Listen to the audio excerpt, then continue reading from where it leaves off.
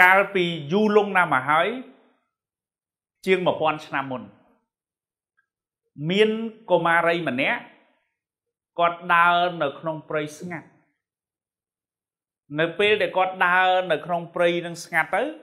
គោលបំណងរបស់គាត់គឺទៅប្រមូលអុសដើម្បីឲ្យម្ដាយរបស់គាត់នឹងដាំបាយបាទនៅពេលដែលគាត់ដើរដើរទៅស្រាប់តែឃើញវាលកន្លែងព្រៃមួយហ្នឹងគឺគេគេខ្វៀលគេកាប់ដើមឈើនឹងចេញ ហើយឃើញមនុស្សច្រើនកកធ្វើការនៅទីនោះហើយដោយសារមន្ទិលរបស់គាត់ចម្ងល់របស់គាត់គាត់ក៏សួរទៅអ្នកដែលធ្វើការនៅទីនោះជាកម្មករសួរថា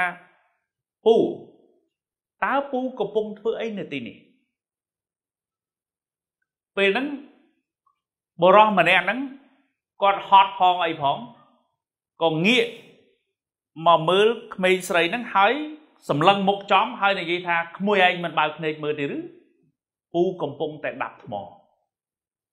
អញ្ចឹងគាត់ដាប់ថ្មគាត់ឆ្លើយប៉ុណ្ណឹងគាត់ដាប់ទៀតប៉ាំងប៉ាំងប៉ាំងទៅហើយគាត់គិតថាក្មេងស្រីហ្នឹងគាត់យល់ហ៎បាទគាត់ដាប់ថ្មតទៅទៀតទៅចម្លើយនេះធ្វើឲ្យកុមារីហ្នឹងមិនអស់ចិត្ត គាត់ក៏សួរទៅអ្នកដែលធ្វើការនៅជាប់គ្នានឹងមួយទៀត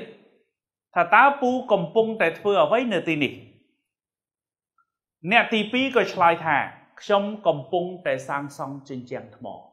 អញ្ចឹងឃើញកាយវិការរបស់គាត់ហ្នឹងសង់ជញ្ជាំងថ្មមែនពេលហ្នឹងកុមារីនឹងឆ្ងល់ហើយក៏សួរទៀតហេតុអីបានពូសង់ជញ្ជាំងថ្មគាត់ឆ្លើយថាមេខ្ញុំឲ្យសង់ជញ្ជាំងថ្ម ឲ្យខ្ញុំទៅធ្វើអីអញ្ចឹងមេរបស់ខ្ញុំឲ្យខ្ញុំសង់ជញ្ជាំងថ្មអាហ្នឹងគឺជាការងាររបស់ខ្ញុំទួនាទីរបស់ខ្ញុំអញ្ចឹងខ្ញុំសង់ជញ្ជាំងថ្មចម្លើយនេះកុមារីហ្នឹងក៏មិនតន់អស់ចិត្តក៏សួរទៅម្នាក់ទៀតដែលធ្វើការនៅជាមួយគ្នានឹងជាកម្មករដូចគ្នាតើពូកំពុងតែធ្វើអ្វីនៅទីនេះ ពេលហ្នឹងបរោះហ្នឹងគាត់ក៏ញញឹមហើយក្រោកឈរឡើងគាត់ច្រត់ចកេះគាត់ពុតខ្លួនគាត់តិចចឹងទៅក៏មើលទៅកុមារីហ្នឹងដោយទឹកមុខញញឹមហើយគាត់និយាយថាក្មួយដឹងទេពូកំពុងតែកសាងនៅប្រាំងប្រាសាទដ៏អស្ចារ្យមួយ ដែលពិភពលោកគេមិនដែលធ្លាប់ឃើញពីមុនមកដើម្បីទុកជាគេដំណើរ ឲ្យកូនខ្មែរចំនួនក្រោយឲ្យគេមានមោទនភាព នៅអ្វីដែលគេកំពុងតែមាន គឺពូកំពុងតែកសាងប្រាសាទអង្គរវត្តដើម្បីទុកជាគេដំណើរឲ្យកូនខ្មែរនិងពិភពលោកគេស្ញប់ស្ញែងពីស្នាដៃរបស់ខ្មែរយើងគឺពូកំពុងតែកសាងអង្គរវត្តបងប្អូនឃើញទេបរោះទាំង3នាក់ហ្នឹងកំពុងតែធ្វើការជាមួយគ្នា ការងារដូចគ្នា ប៉ុន្តែអ្វីដែលគេមើលឃើញនៅខាងក្នុងនេះខុសគ្នាក្នុងចិត្តសួរបងអូនស្រីម្នាក់ឯងបានណាក្នុងចិត្តបងអូនពេលដែលស្ដាប់រឿងនឹងហើយ កម្មករមួយណា ដែលគាត់មានការបដិញ្ញាចិត្តខ្ពស់ហើយធ្វើការបានល្អជាងគេ មួយណាយើងចង់បានមនុស្សបកែមកធ្វើការជាមួយយើងមែនទេ